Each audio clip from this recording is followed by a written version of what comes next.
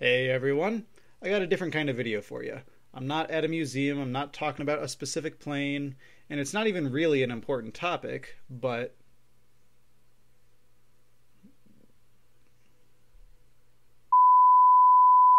So you've read the title of the video. I mean, you probably did. If you didn't, then I'm so sorry autoplay put me in your video feed. But for those of you who know what you're here for, you might be a bit surprised when I say I want to start by talking, no, ranting about unnecessary military projects. So I started thinking about this when I saw this article about how the UK is making the world's first sixth generation fighter jet. And I thought about how stupid that was, because if you think about fifth generation aircraft, there's only like five of them. And I looked more into what aircraft are being built for the sixth generation, and they're the same as the ones we have now. Don't even get me started on how many of these new aircraft are just F 22 lookalikes. And moving on to the sixth generation, nothing is changing. Take this guy, for example. Let me sum up this 4,000 word Wikipedia article. They want a stealth shaped aircraft that uses thrust vectoring to achieve high maneuverability and comes stocked with powerful computers. Does any of that sound next gen to you? Oh, and look at this guy. This guy's got some real nerve walking in here the way he does. The B 2 Spirit is already the most expensive aircraft ever. Only 21 of them were built, and they were only ever used to bomb terrorists in caves. And now the US military says, oh no, it's, it's not good enough. It's time for a better one. And they commission this. Yeah? Uh, yeah? Yeah? What? What is the point of you? Why do you exist? It's literally the same plane made by the same people. It even looks the same. It's just gonna be more expensive. I don't care how many fancy 3D renders you make. If your aircraft just uses better versions of existing technology the same way, it's not next gen. Then I see this thing, and now I think the universe is just laughing at me. Because if you know me personally, you know I've been saying for years that what the military should be doing, instead of making expensive fighter jets, is just take the existing conventional stuff and put new computers in them. Because that's all modern combat really needs. And to be honest, I like this. The F 1 Sex is a good. A- oh. Oh, sorry. No, it's the F 15EX. That's, that's my bad. But then I see this. just because I take a USB stick full of turtle pictures and put it in a laptop doesn't make it a new laptop design. And at this point, I'm about to break down and start making noises like a goddamn Geonosian. So I go full circle and look into the Tempest again to see what makes it so special. Huh. Okay, hang on a minute. We might actually have something worthwhile here.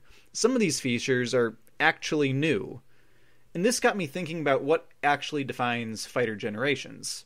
Finally, we can actually get to the thing I want to talk about today. So, if you ask official sources, fighter generations only count towards jets, but if you ask me, the differences in generations are kind of arbitrary. Like, if I take an F 4 Phantom and give it thrust vectoring, what generation is it now? What if I take an F 22 Raptor and give it a radar from an HE 219? Now, what generation is it? What if I take a MiG 21 and give it a propeller, but also radar absorbent paint? And then there's these claims of Generation 4.5 or Generation 4 plus plus fighters, which. Uh, no. The system is arbitrary, incomplete, and vague. It needs to be changed. And I have an idea for a new generation system that consistently defines the way all fighter aircraft perform combat not just jets. It's definitely one of the least interesting parts of aircraft design, but it's honestly the complexity of this technology that shapes air combat, and that is information communication. Now, I'd like to go through history while defining my proposal for the new generations of fighters. Starting all the way at the dawn of flight, the wooden canvas biplanes of the First World War were about as combat capable as a dune buggy with a fire axe duct taped to the hood. You also basically couldn't talk to anyone once your engine was started. The only way the first fighters could communicate was through hand signals. That's Generation 1. No tech, just you and your ability to wave your hands around like a cheerleader. As the years went on, some clever dudes figured out how to mount telegraphs and other basic radios onto the aircraft. This would get refined in the interwar years, and it quickly became standard issue to have radios in every cockpit. Now you could easily talk to commanders at your airfield, or gunners on the other side of large aircraft, or directly to mobile units on the ground requesting air support. Also, this will come as a surprise to nobody when I say that the invention of radar changed the game in World War II. In the early days, radar technology was pretty much only good with either massive radars used to detect massive formations, or small radars that were pretty much only useful for finding things at night when it's pitch black out.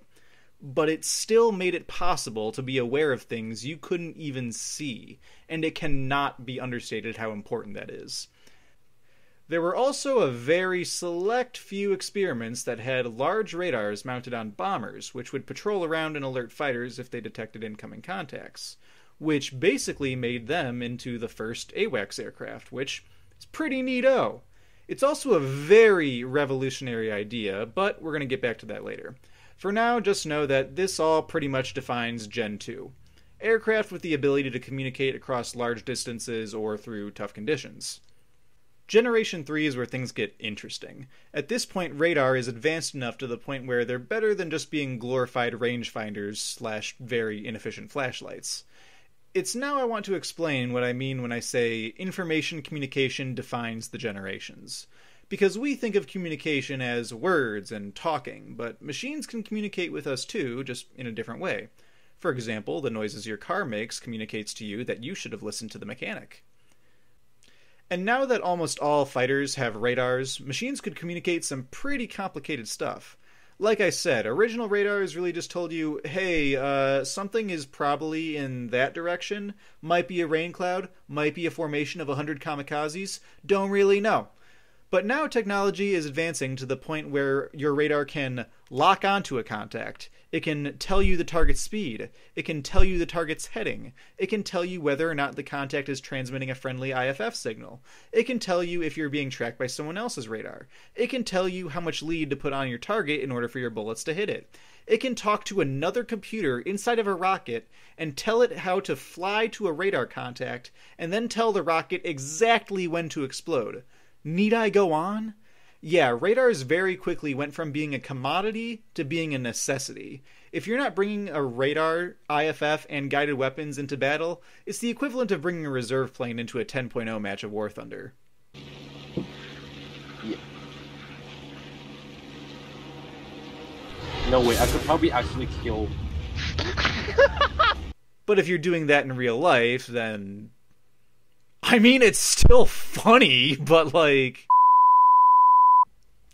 Anyway, yeah, Gen 3 is defined by systems that automate combat functions for the pilot contact tracking, threat alerts, guiding weapons, cool stuff.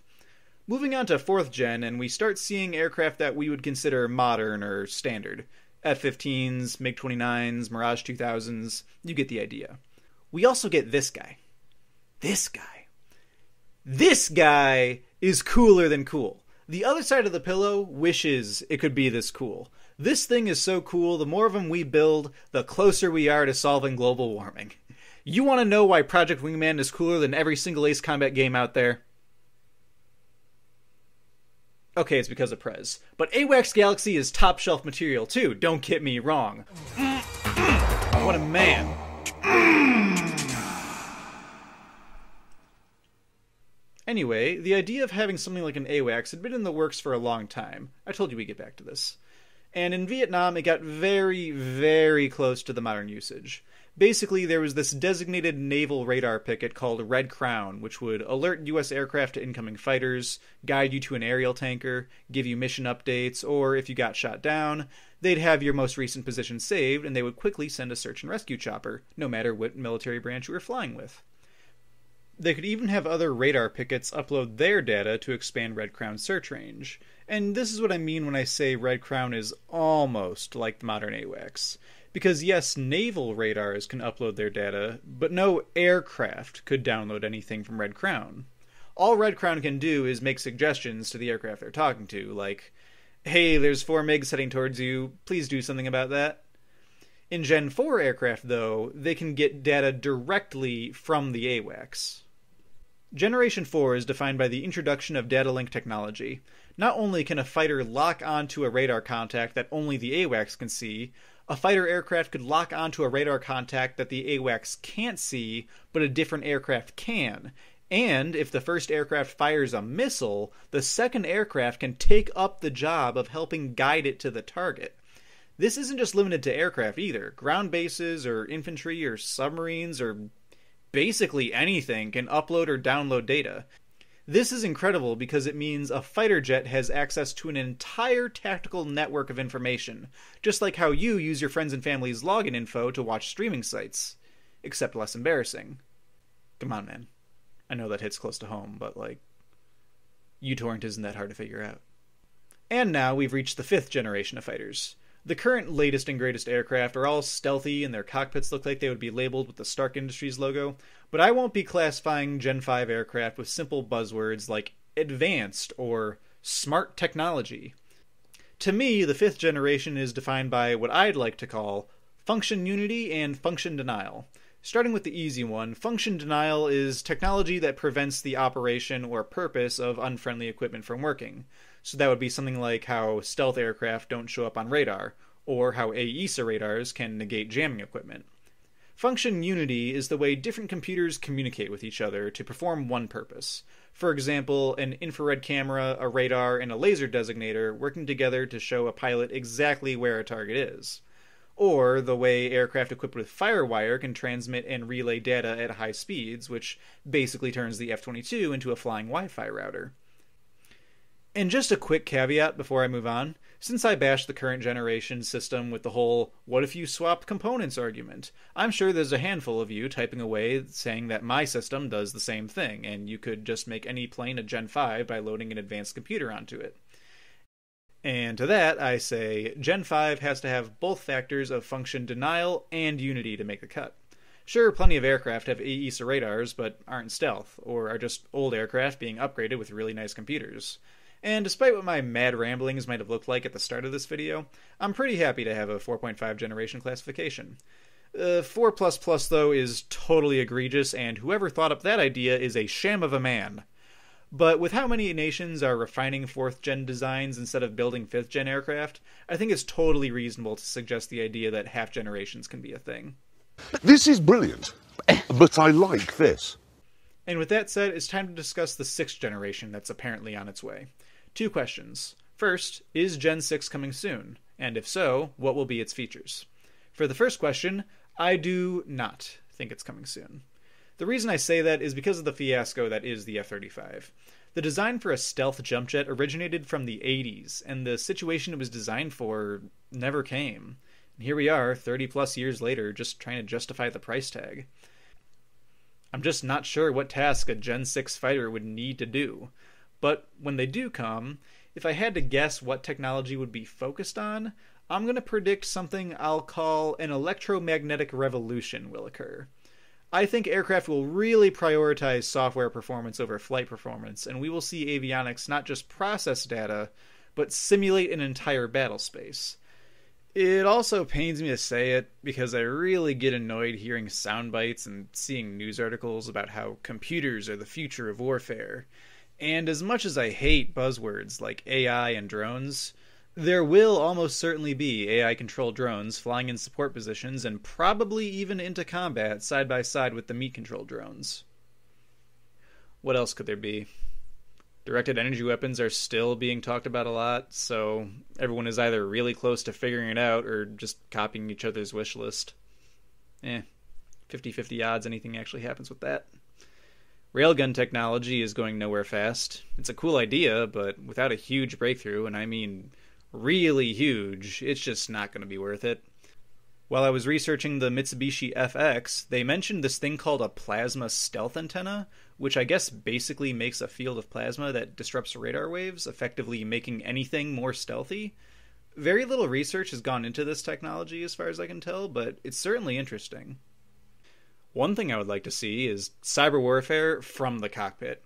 I imagine it'd be really funny to just fly over an enemy recon unit and drop a fat zip bomb on their network.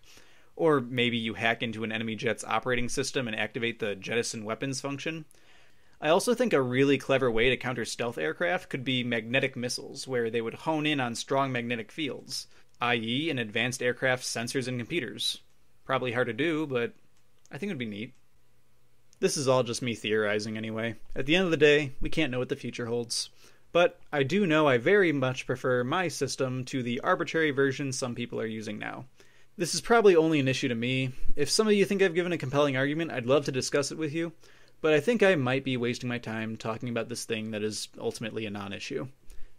Then again, the reason I make videos is to tell stories to viewers, so if you're still here listening, I guess the burden of wasted time falls to you. No refunds.